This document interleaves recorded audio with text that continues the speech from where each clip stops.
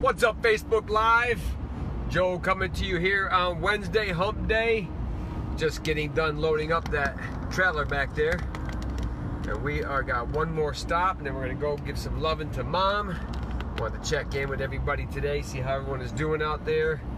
Wherever you are in the world, know that you are sending your intentions and love and prayers and blessings to you and your families. Because together all is possible. Good to see you, Teresa. We were cruising along the highway here in Danbury, Connecticut. Got the 12 foot U Haul trailer. Had to go about a 35 minute ride this morning. What's up, Ramsey?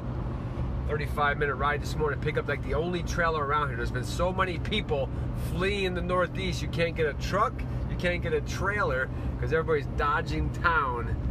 So I had to drive about 35 minutes this morning, 6 o'clock this morning. Angela, good to see you to pick up this trailer back there all loaded up. There's a ton of weight in that thing, man. I got all kinds of stuff in there. I'm going to pick up Kathy's bicycle right now, one of our properties, some more of my tools, and I think we're going to be all set. We have one more trip back here to Connecticut, get my boat, so we can go do some fishing, living off the land this summer, living off the land this fall. Regardless of what happens, we will be ready to do whatever it's going to take.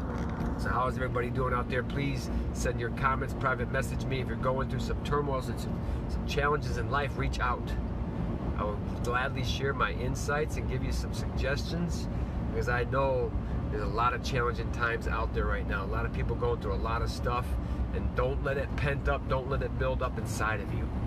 So we're always here for each other. But today's topic was write it down. So for the last two months, I came up with an idea of something that I needed from Connecticut, something I required to take back. I was putting in my notepad in my phone. So make sure I can pick up everything that I require back in Virginia while I came here. Where in our lives are we not writing stuff down and then we rely on memory, and then life goes sideways and we forget it. We walk out the house, and then we're driving back to the house because we forgot our grocery list. We forgot something in the house and we have to go back. What's up, Scott? Good to see you, brother. We're here in Danbury, Connecticut. Just get off exit 5 here, Scott. So I hope you're well, man. I know you're in the area. But uh, how many times do we leave stuff and not have it with us in the car, in the trailer, in the RV? When we go camping, we don't have the things that we require out there. How many times do we do that? So the secret sauce is to write it down, just like back in December when the voice told me to journal every single day this year. And I, I didn't like journaling. I was doing everything on my phone and talk to texting. So I made it a point to journal and write stuff down. Something magical happens when you put your pen to paper and you visually see what you're writing. Anchors that into the mind. Good to see everybody logging in here this afternoon. It's Wednesday, about 5 o'clock. It's quitting time. I can hear the Hubba Hubba song playing in the background. I remember back in the day growing up, you used to hear that Hubba Hubba song and sit around the shanty mama and put a good buzz on. That was all the songs of the day. And I think they still play those songs, to be honest with you.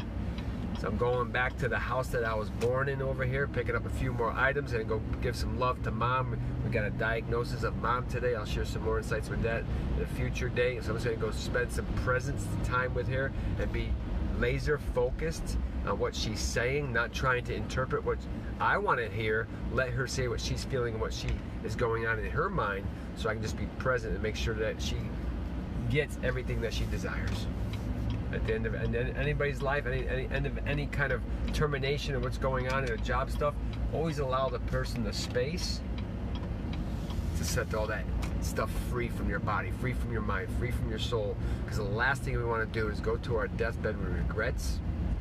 Make sure you get everything off your plate. So write that stuff down wherever you are in the world and gonna be going out there, and especially you guys that got a lot of high level, high stake stuff going on. Find the top three things on your list. I know many of us have, like me, we have 20, 30, 40 things on our list in one day sometimes.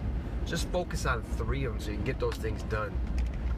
Yes, Angela, five generations, eight years, family owned real estate business. Oh yeah, so Angela, you're huge with the paperwork stuff and real estate, and I get it. I've been doing real estate for 20 years now.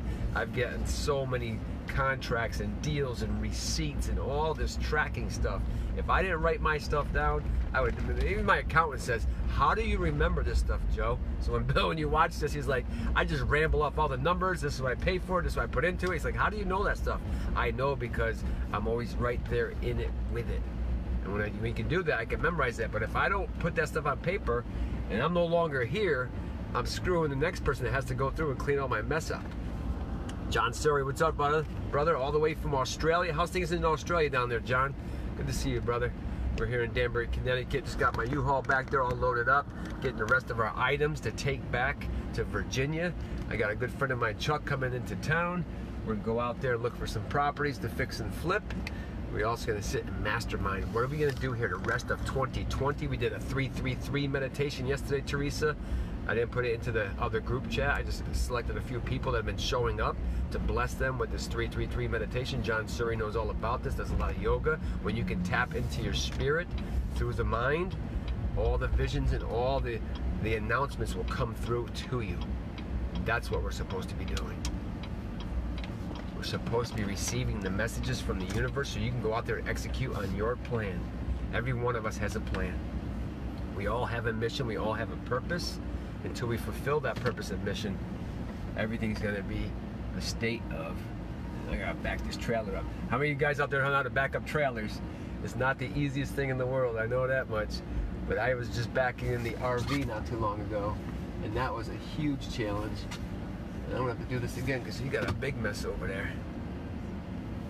I hope you guys. Hey, Dell, good to see you. How are you? What's up, Joe? Good to see you, brother. So today's message, I was writing stuff down. I know I'm a big proponent of writing stuff. To Caddy's like, you got paper everywhere, but I always knock off my top three, then I'll get to my top five, my top 10. I can usually get somewhere between, when I got like 30 things on the list, I'll get about 20, 22 of them done. Then I'll transfer the rest of them onto tomorrow's messages. So all you guys out there, hope you have a blessed and fantastic Wednesday. Go out there and love on somebody. Go out there and share some experiences with somebody. Go out there and just listen and stand still. Allow people to release but don't take on their pain, don't take on their energy. Just let them go ahead and release. There's something magical happens when we release that energy. If you do, here's a little secret for you. If you ever have a lot of pent up energy, you're feeling anxious, you're feeling depressed, you're feeling in a state of some kind of something's going on in your mind, go like this. As fast as you can breathe out, take a natural breath in, you can release that energy. I know a lot of you know a lot about this stuff. So happy Wednesday, everybody. You guys have a blessed and fantastic day. When it's all said and done together, we will rise this one. We will see you tomorrow on day 190. Keep showing up. They have not seen nothing yet.